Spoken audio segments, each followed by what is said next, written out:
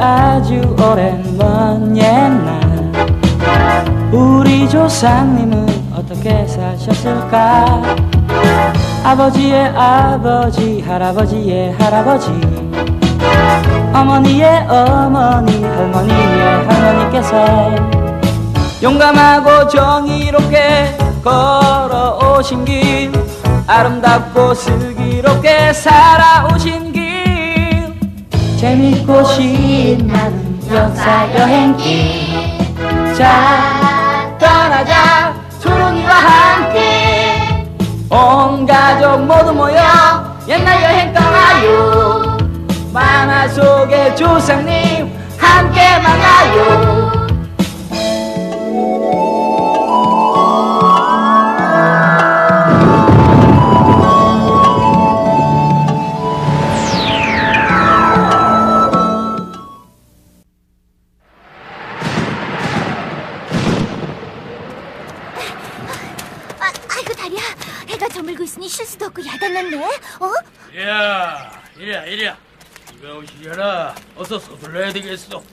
이리야, 빨리 가자. 어? 이리야, 빨리 가자.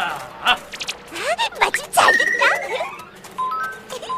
아, 이리야, 이리야, 이리야. 빨리 빨리. 빨리 가서 저녁 먹고 푹 쉬어야 되겠다, 나기야. 어? 이리야, 이리야, 이리야. 빨리 가자. 자, 자, 자, 이리야, 이리야, 빨리, 빨리.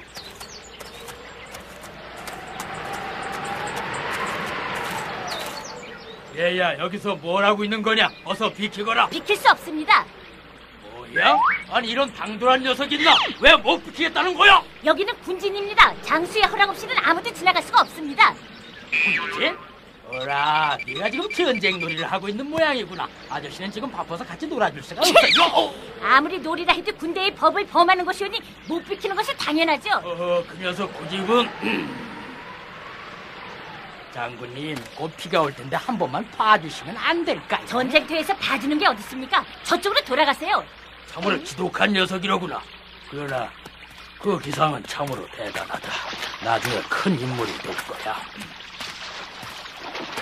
얘야, 내 이름이 무엇이냐? 건천동에 사는 이순신입니다. 이순신? 아니 그럼 저분이?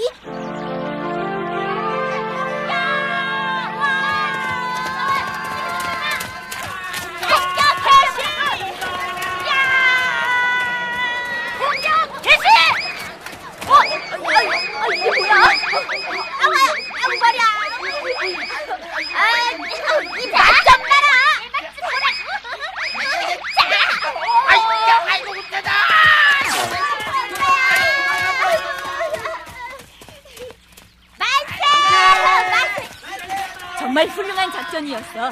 순신이 너는 나중에 훌륭한 장군이 될 거야. 책에 있는 병법을 그대로 실천한 것 뿐인데 뭐. 자, 그만 집으로 가자. 참으로 의젓한 소년들이죠. 그럼 임진왜란 당시 목숨을 바쳐 나라를 구한 민족의 영웅 이순신 그 첫 번째 이야기를 보내드립니다.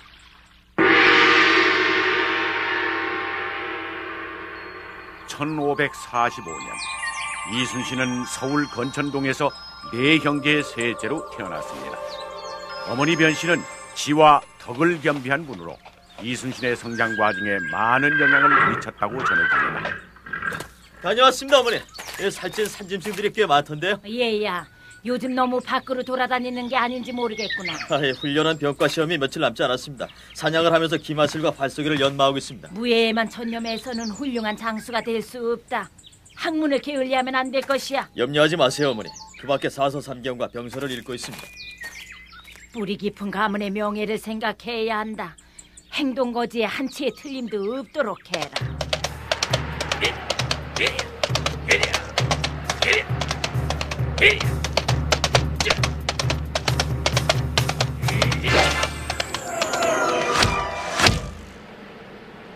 합격!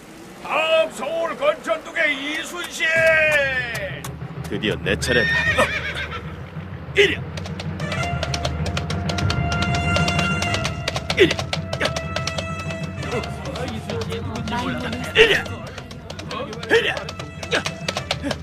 이리야!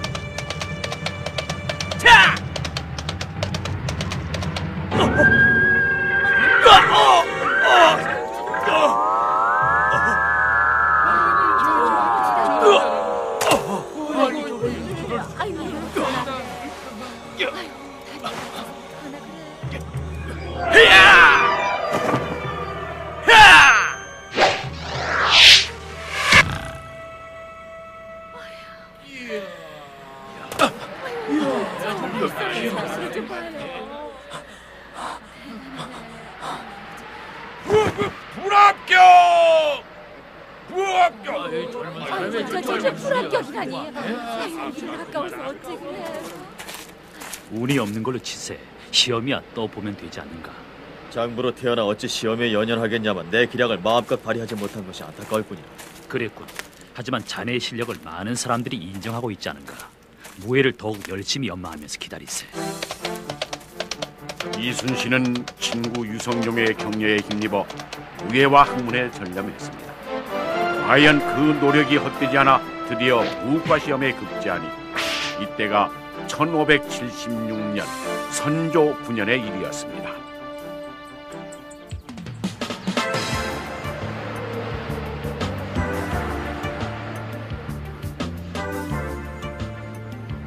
신이 국경수비대에 부임한 지 9년이란 시간이 흘렀습니다.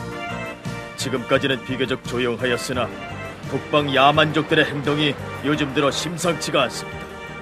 만약 야만족들이 침입해 온다면 현재의 적은 군세로는 물리치기가 쉽지 않을 것 같습니다. 부디 군사를 더 보내주셔서 국방의 임무 수행에 차질이 없도록 해주소서. 에이, 도대체 이순신 연자가 누군고 말단 무관 주제에 군사를 보내달라고 군사 문제는 조정에서 결정하게 돼 있거늘 참고만 만든도다 이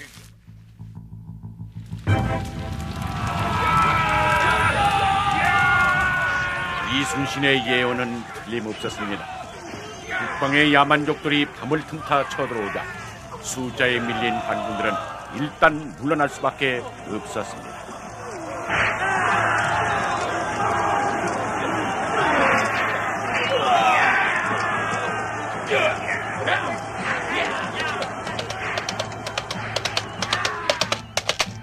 무엇이라고 싸우다 죽어도 시원치 않은데 적을 피해 달아났단 말이냐 하오나 적의 수가 너무 많았는지라 닥치거라 이놈 내 이순신을 엄히 벌하리라 그렇다면 군사들을 개죽음시켜야만 한단 말인가. 내 이럴 줄 알고 진작부터 군사 지원을 요청했거든. 조정의 썩은 관리들은 할 일은 안 하고 책임만을 물으려 하는구나.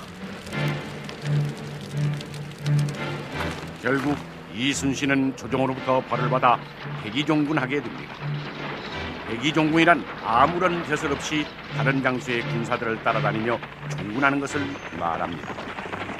그 뒤 죄에서 풀려난 이순신은 전라도 선전관 생활을 하다가 정읍의 현관직을 맡게 됐습니다. 정읍 백성들은 이순신의 인품을 크게 존경하며 아버지처럼 따랐습니다. 여복의 아, 이게 누군가 성령 아닌가? 여해는 이순신의 자로서 가까운 사람끼리 부르는 이름을 말합니다. 자네 칭찬이 자다하더구만. 백성들은 자네가 이곳에 영원히 머물러 주길 원하는 눈치든걸. 허허, 칭찬은 무슨? 백성들을 평안하게 하는 것은 지방 관리의 당연한 의무 아닌가? 자네도 들었는가? 일본을 통일한 도요토미 히데요시가 군사를 크게 늘리고 있다는군. 왜군의 분위기가 심상치 않다는 걸 풍문에 들었다네. 헌데 도요토미 히데요시는 보통 인물이 아닌 것 같으니 내가 보기에 대단한 야심을 감추고 있는 것 같아. 그런데 조정은 10만 군사를 키우자는 이율곡 선생님의 말을 무시했으니 그건 바로 내 잘못이야. 그때까지 일본은 여러 부족으로 갈라져 싸움만 일삼던 야만족에 불과했습니다. 그러나 도요토미 히데요시라는 인물이 갑자기 등장하여 전 일본을 통일했던 것입니다. 도요토미는 백성들의 불만과 불안을 바깥으로 돌리기 위하여 전쟁을 계획하고 있었습니다. 불안해진 조선의 조정은 일본으로 사신을 보내 도요토미의 마음속을 알아보려 했습니다. 도요토미는 어떤 인물이요? 과연 전쟁을 일으킬 것 같소? 도요토미는 야심이 대단한 인물입니다. 일본의 침략에 대비해야 하옵니다. 아닙니다, 마마. 도요토미는 그저 소인배에 불과했습니다. 공연한 걱정이라 생각되옵니다. 쳐들어오니까 없어요. 쳐들어온다니까요. 쳐들어온단 말이야. 무슨 소리를 하는 거야? 말도 안 되는 하고. 참나 이거. 어쩌면 좋은가. 당파 싸움에 눈이 어두워 나라의 위험을 모르는 자들. 조선의 운명이 바람 앞에 등불이로다.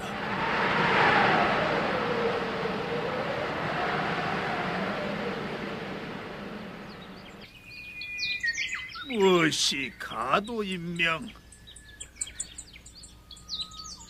명나라로 가는 길을 빌려달란 뜻이 아닌가? 전하, 겁없는 외놈들이 명나라를 친다니 도요토미는 미친 자임에 틀림없습니다. 빌려달라는 뜻은 우리 조선을 업신여기고 있기 때문이옵니다, 전하. 아, 어쩌면 우리에게도 싸움을 걸어올지 모르겠구나.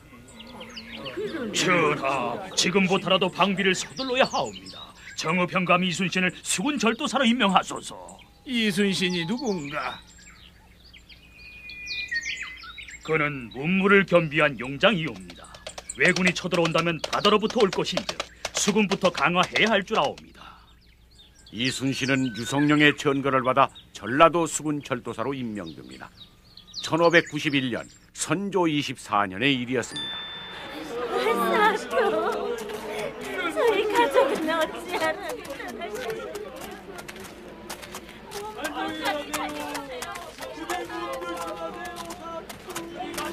내 너희들과 같이 있고 싶은 마음 절실하나 나라의 일이 더 중요하다.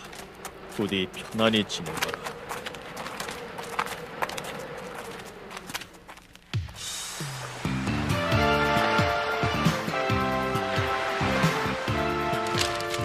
평화로운 세월이 계속되다 보니 전함은 나이, 병세의 수도 적다. 무엇보다 군비 확충에 힘써야 하겠구 ありがとうございます。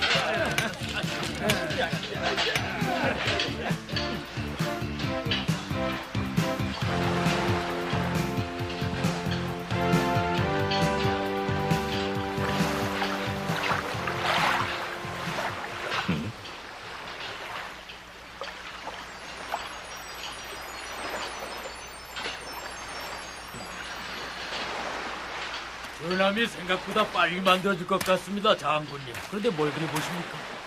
전쟁이 일어나면 바다부터 장악해야 하네. 바다를 장악하려면 강력한 전함이 필요한 법이죠.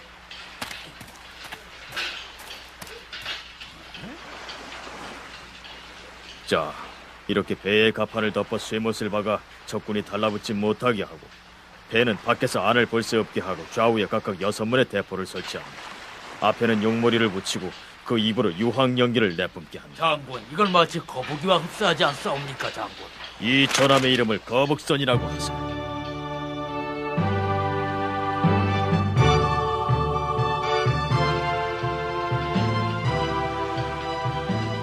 이 거북선만 완성되면 그 누구도 조선의 바다를 넘보지는 못할 것이다.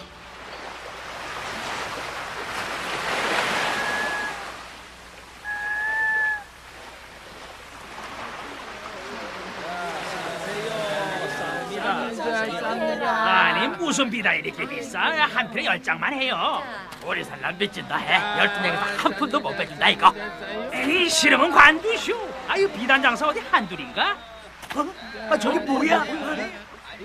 아, 저기 저 수평선을 보라고 수평선을 좀 봐요. 예? 누가요? 누가 있다고 그래요? 저기 뭘까? 어? 아니 도대체 뭐 뭔데? 어? 어? 어? 내려옵니다.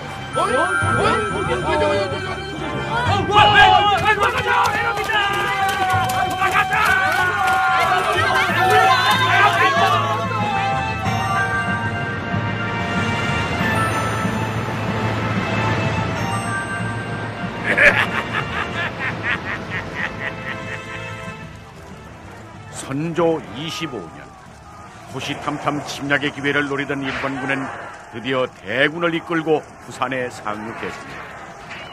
이로써 조선은 7년 동안의 길고 어두웠던 전쟁에 돌입하게 되는 것입니다.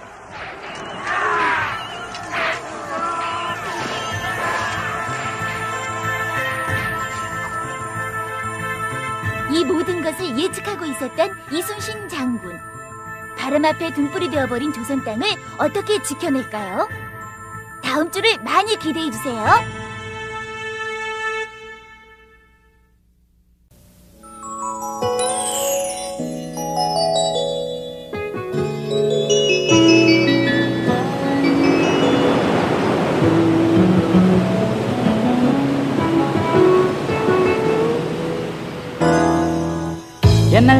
아주 오랜 먼 옛날. 우리 조상님은 어떻게 사셨을까? 아버지의 아버지 할아버지의 할아버지. 어머니의 어머니 할머니의 할머니께서 용감하고 정의롭게 걸어오신 길 아름답고 슬기롭게 살아오신 길 재밌고 신나는 역사 여행길 자 떠나자. 초롱이와 함께. 온 가족 모두 모여 옛날 여행 떠나요.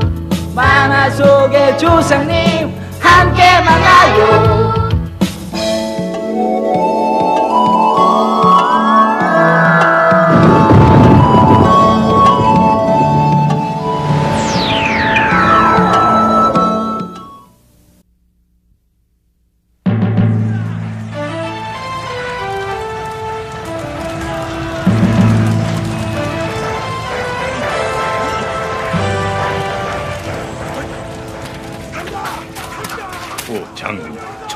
어떠한가? 역부족입니다. 왜군의 숫자가 너무 많대다. 놈들은 조총이라는 신무기를 무장하고 있습니다. 무엇이 조충?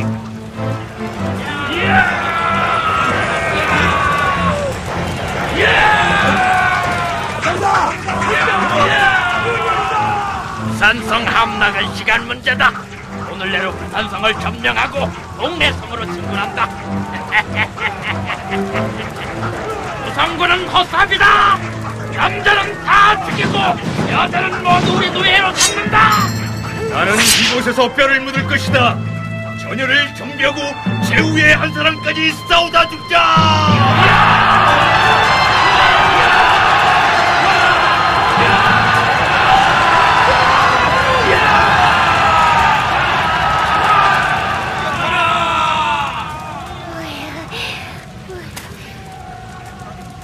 본격적인 공격이 시작되었군요.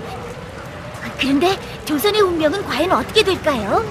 자, 지금부터 구국의 영웅 이순신 그 하편을 보내드립니다.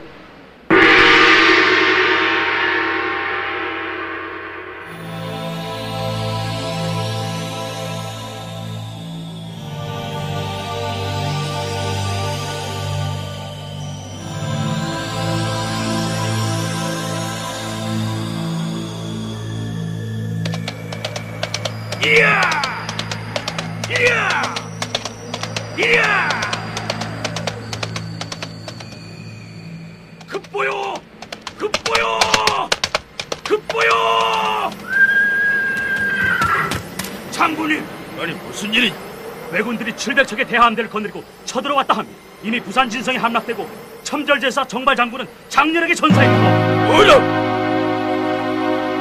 부산 송상현이 지키던 동네성은 어찌 됐더냐? 동네 부사 송상현도 전사했습니다. 적군은 동네성을 넘어 양산 김해 쪽으로 진격하고 있다. 이것은 경상 우수사 왕균 대감의 정가류. 경상 좌수와 박동이 이끄는 수군은 싸우지도 않고 도망쳤어. 부산 앞바다에 정박 중인 외선은 350척이나 되니 적의 구원을 요청하는 바요. 무릇 장수라는 자가 싸워보지도 않고 도망친단 말이냐. 즉시 전 함대를 집결시켜라.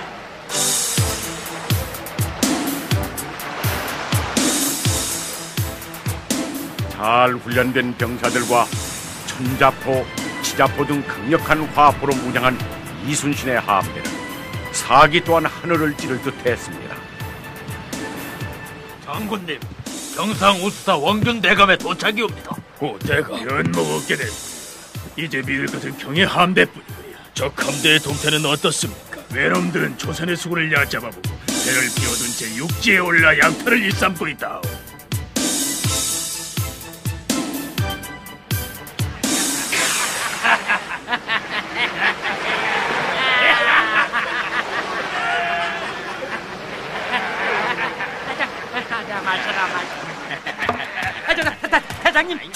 함대이옵니다. 예. 말하고 그럴 리가.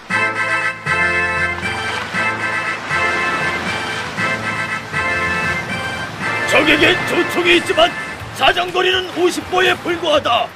대포는 우리 것이 월등하니 거리를 두고 공격하라. 포문을 열어라.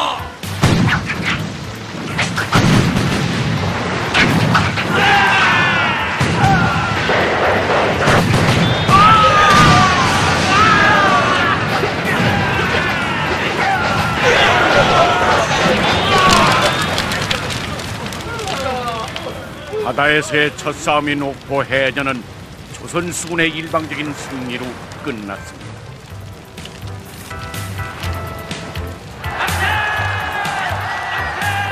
옥포 해전은 임진왜란의 첫 승리이기도 했던 것입니다.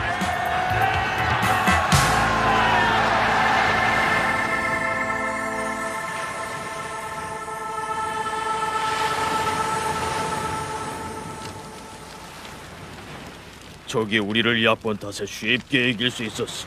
그러나 방심은 절대 금물. 육지의 조선군은 연전 연패라옵니다. 우리 수군이 바다를 튼튼히 지켜내야 할 것입니다. 남쪽 바다를 먼저 장악해야 하오. 내일은 사천으로 진격하겠어. 속전속결. 내일 전투에는 신형 전함이 참가하게 될 것이.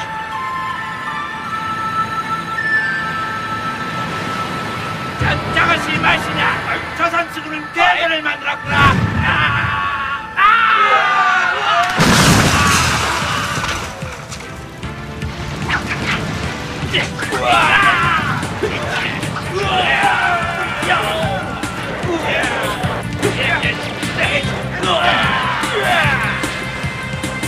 테러를 막아라! 화력을 집중하라! 전환 전속력으로 함께 적의 허리를 끊어라! 당포 해전에서 적함 12척 격파와 외장 부시마가 전사하고 부 산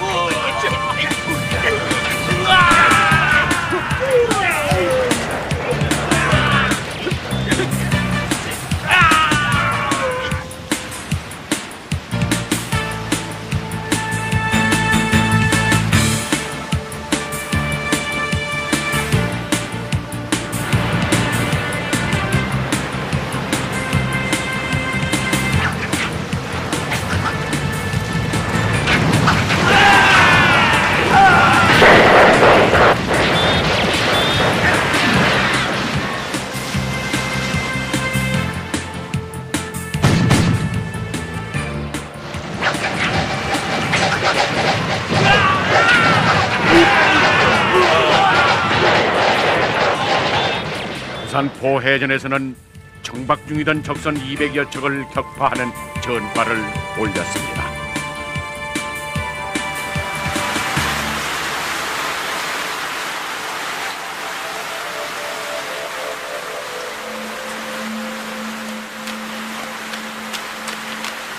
해전 소식만이 거듭 날아오는 터에 이순신만이 바다에서 왜군을 묻히고 있구나. 여봐라, 이순신을 삼도수군 통지사에 임명하라. 서운이 만국하옵니다. 드디어 기다리고 기다리던 명나라의 지원군이 들어왔습니다. 그러나 명나라 장수 이여송의 임무는 싸우는 척하면서 왜군과 화친하는 것이었습니다. 전쟁은 잠시 중단됐습니다. 그러나 명나라와 일본의 협상이 깨지자 왜군은 또다시 침략을 개시합니다. 이것이 정유재란이었습니다.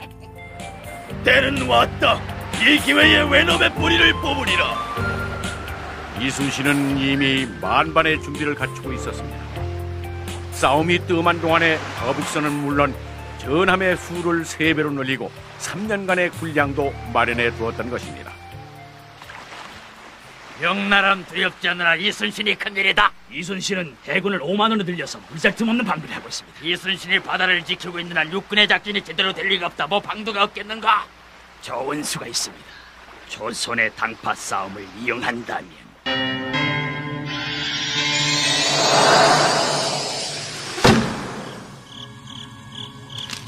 이건 우리 쪽 첩대인 요시라의 편지가 아니냐? 급보입니다. 사사 모자라 일본군 대장 가토우가 혼자서 바다를 건너갈 것인데 이 기회를 놓치면 아니 되옵니다. 때가 왔다. 여봐라, 전령 어디 있느냐? 그러나 이것은 이중간첩 요시라의 흉계였습니다. 가토는 이미 며칠 전에 바다를 건너와 왜군을 주의하고 있었던 것입니다. 어명, 뭔가 잘못된 것이다. 가토는 이미 며칠 전 서색포에 들어왔거든. 전하 고의로 출전을 늦춰 갓도를 놓아보낸 이순신을 중벌을 내리소서 어 명을 어긴 이순신을 엄히 벌하소서, 전하. 전하, 이순신은 그런 인물이 아니옵니다. 뭔가 잘못 전해진 것으로 생각합니다. 닥치시오! 경상우수사 원균이 보낸 편지에도 그렇게 적혀 있어. 이게 명백한 증거요. 이순신을 서울로 잡아올리도록 하라. 목에 갇힌 이순신은 모진 고문 속에서도 조금 도 흐트러짐 없이 바른 말만 고집했습니다. 그러나 이순신의 공을 시기하던 신하들은 사형을 주장했습니다. 전하, 이순신은 명장이오니 사형은 옳지가 않사옵니다. 용서하시어 훗날에 공을 세우게 하옵소서. 위기 일발의 순간 원로 대신 정탁이 이순신의 목숨을 구했습니다. 선조는 이순신에게 두 번째 백의종군을 명했습니다.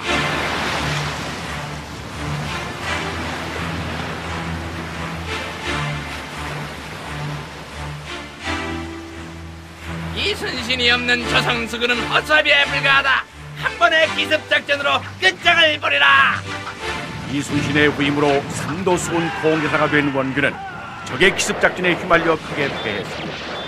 이순신이 몇 년에 걸쳐 이루어놓은 대함대가 전멸되고 말습니다.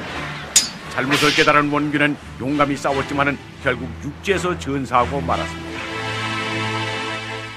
오, 모두 과인의 잘못이로다.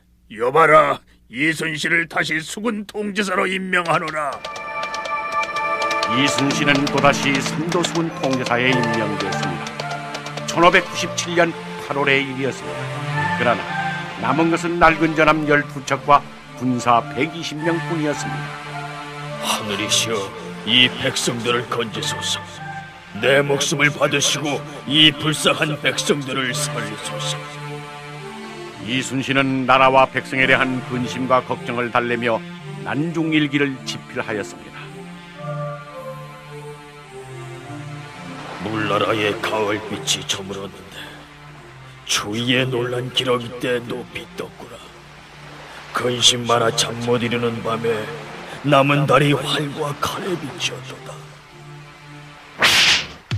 지금 적설이 녹도에 왔다 하니 일각을 지체할 수 없다. 무릇 살기를 원하는 자 죽을 것이요 죽기를 원하는 자 살 것이다. 1597년 8월 15일 명량대첩은 바다의 세력권을 송두리째 바꿔버린 대수문이었습니다. 치명적인 패배를 당한 일본의 수군은 이때부터 공격력을 잃고 수비에만 전념하게 됩니다. 이순신은 고금도로 진을 옮겨 군사를 늘리고 군량을 비추고 바야흐로 최후의 결전을 준비하고 있었습니다. 연세는 기울었다. 공국으로 돌아가야 하는데 바다에 이순신이 있으니 어쩌면 좋단 말이냐. 명나라 해군 제독 진진에게 보물을 주어 도움을 청하면 어떻겠습니까? 에, 이순신만 피한다면 명을 회유한 왜군은 노량에 집결하여 퇴각 준비를 갖추기 시작했습니다. 철수하는 적선의 수는 무려 500척이나 됐습니다. 우리 강산을 노략질한 외놈들을 어찌 곱게 보내줄 수 있단 말이냐? 전한대 공격하라!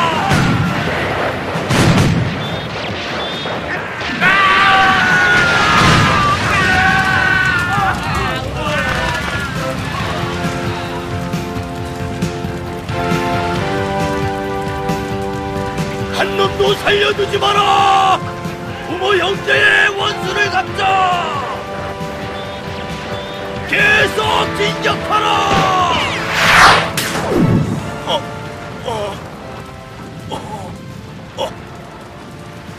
장군님!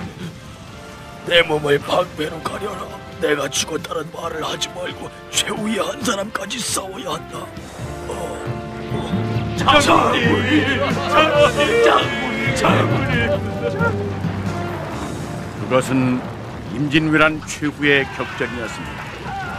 최후의 발악을 하던 왜군은 전멸 상태에 이르고 이순신 장군의 전사와 함께 길고 지루했던 전쟁은 끝났습니다.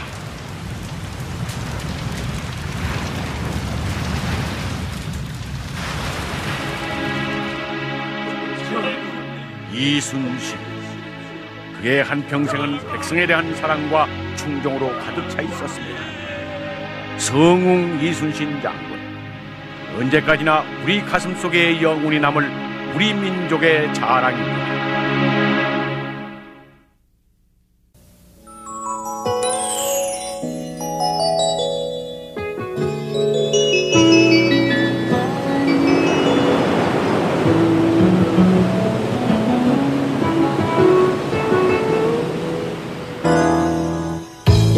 적 아주 오랜 먼 옛날. 우리 조상님은 어떻게 사셨을까? 아버지의 아버지 할아버지의 할아버지. 어머니의 어머니 할머니의 할머니께서 용감하고 정의롭게 걸어오신 길 아름답고 슬기롭게 살아오신 길 재밌고 신나는 역사 여행길 자 떠나자. 초롱이와 함께. 온 가족 모두 모여 옛날 여행 떠나요.